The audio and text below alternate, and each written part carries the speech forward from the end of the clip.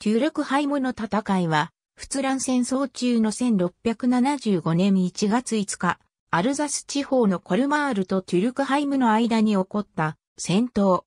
トゥーレンヌシャク率いるフランス軍が、アレクサンドル・ド・ブルノンビルとブランデンブルク選帝侯、フリードリヒビルヘルム指揮下のオーストリア軍及び、プロイセン軍と戦った。フランス王ルイ14世が1672年に始めたネーデルラント連邦共和国への侵略に対し、ハプスブルク家の神聖ローマ帝国、及びブランデンブルク選定公領など、ヨーロッパ諸国の敵対的な反応を招いた。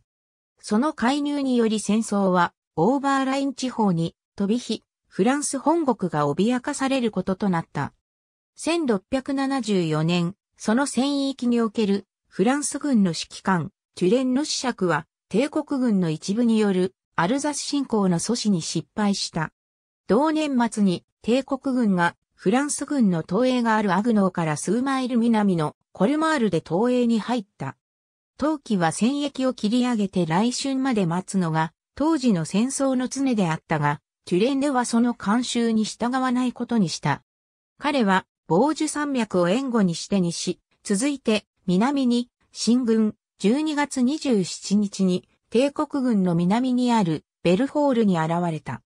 抵抗に合わなかったトゥレンヌは29日にミュルーズに到着する。大いに不意をつかれた帝国軍は慌ててテュルクハイムに交代した。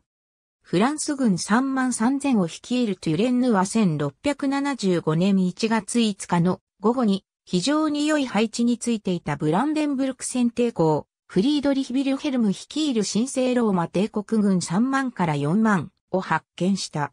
しかし、帝国軍は戦闘の準備が整っていなかった。その後の戦闘は17世紀の一般的な戦闘とはかけ離れたものとなった。テューレンヌはまずフランス軍中央部に進撃を命じ、続いて右翼からの攻撃を命じた。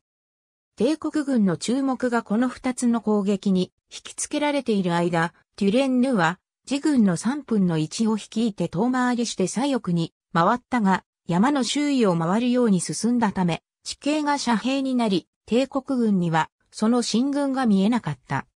テュレンヌがトゥルクハイムの村を占領すると、フリードリヒビルヘルムはそれを奪回しようとしたが、フランス砲兵の激しい砲火と不評の突撃に撃退された。テュレンヌは続いて帝国軍の最右翼を攻撃した。先に砲撃することなく行われたこの攻撃は極めて素早くまた数的に優勢なフランス軍が帝国軍の一点めがけて攻撃したため、帝国軍は崩れて士気を喪失し、3400人の損害を出した後、これ以上の犠牲を避けるべく撤退する結果となった。今や東映を脅かされたこととなったブランデンブルク戦抵抗、フリードリヒビルヘルムはアルザスからの退去を余儀なくされ、ストラスブールへ退却、翌週にライン川を渡って右岸まで撤退した。テュレンヌ元帥による、この短いながらも有名な陶器戦役は17世紀において、最も鮮やかなものとされている。彼は2回の間接的な行軍で緊小な損害しか受けずに、フランスを侵攻から救ったのである。ありがとうございます。